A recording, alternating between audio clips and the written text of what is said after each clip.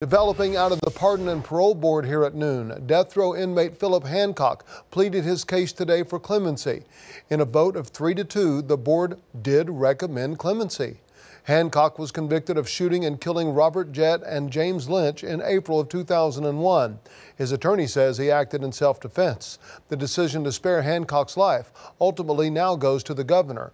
As of right now, Hancock is scheduled to be executed on November 30th.